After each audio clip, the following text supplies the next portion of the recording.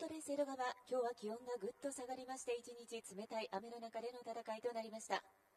ファン感謝 3days ボートレースバトルトーナメント。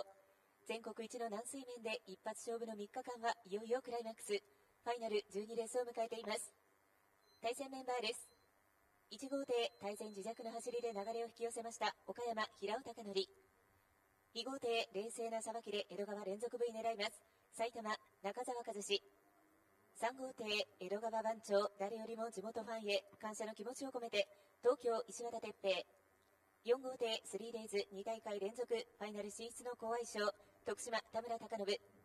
5号艇4年ぶりの江戸川ですが前回大会弟子の V に続きます。佐賀上野慎之介6号艇今月は地元の SG へチャージをかけます。愛知赤岩義雄以上6選手です。並びは枠なり3対3です。現在北風が5メートル、川の流れ1マークから2マーク方向の下げ潮が20センチ、ホーム側向かい風、向かい潮のコンディションです。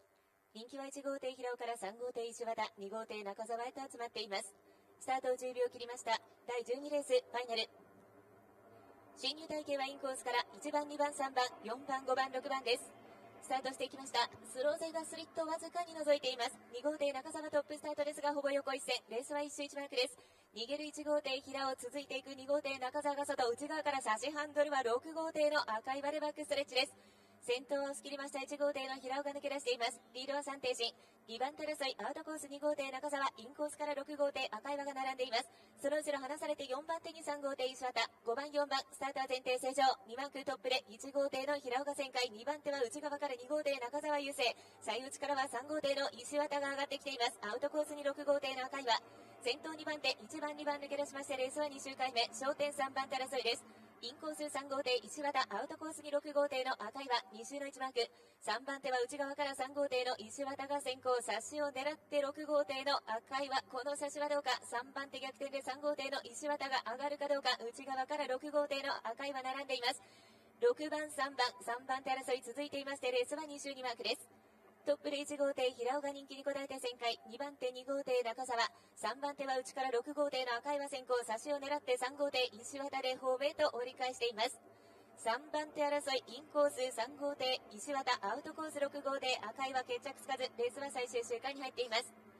先頭はインから押し切りました1号艇の平尾貴則3種1マークの旋回から最後のバックストレッチへと抜け出しています。運も味方につけまして今年初優勝通算87回目。いつも江戸川は地元と話しますが当地では6回目の V ファンに感謝の優勝が目前。A1 キープへ持ち味をかけます。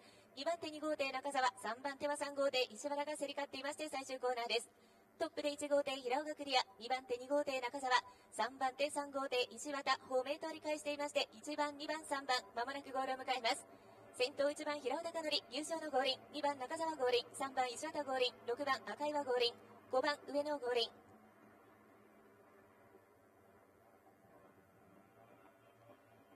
4番田村合輪です。